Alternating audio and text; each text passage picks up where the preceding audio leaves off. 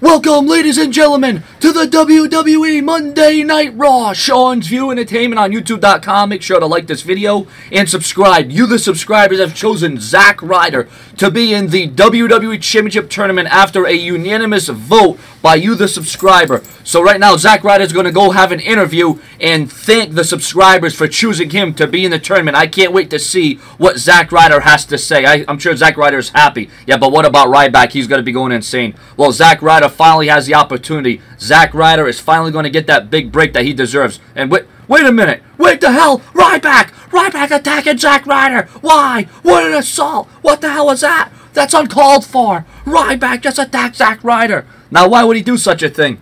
Now, Justin Roberts, can I get a word with you? Oh boy, I cannot wait to see what Ryback is going to say. Why would you attack Ryder like that? Yeah, what, what, what would you do that? What a vicious act.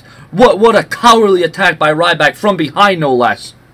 As they say, ride or die. Are you kidding me? What a what a malice! That, What? How could you say that? Zack Ryder had an opportunity. He was going to speak to the subscribers, and now Ryback has ruined all of that. This is sick. This is perverse. Ryder should know I am hungry. Besides, Ryder is a bully. A bully? How can you say that that Zack Ryder's a bully? All he did was get a unanimous unanimous vote. The subscribers voted him in, and now you're calling him a bully. This is completely ridiculous. Oh, well, hey, he had it coming. The kid should have known that Ryback's hungry. He's always eating. Are we done? Is that it? Is that all Ryback's got to say for himself? Is are we done? Are you kidding me? What's the condition of Zack Ryder? What's going to happen next? Ladies and gentlemen, subscribers and viewers, what do you think is going to happen now that Zack Ryder has been attacked? Will Ryback replace him?